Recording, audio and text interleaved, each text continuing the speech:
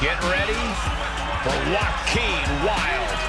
No fear, YOLO attitude with this guy.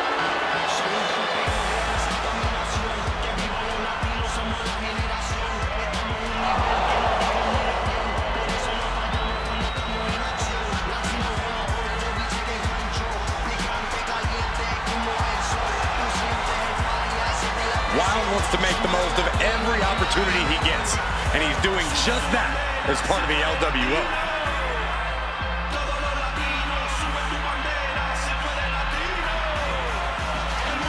Years of experience and hardship has led Wilde to this moment.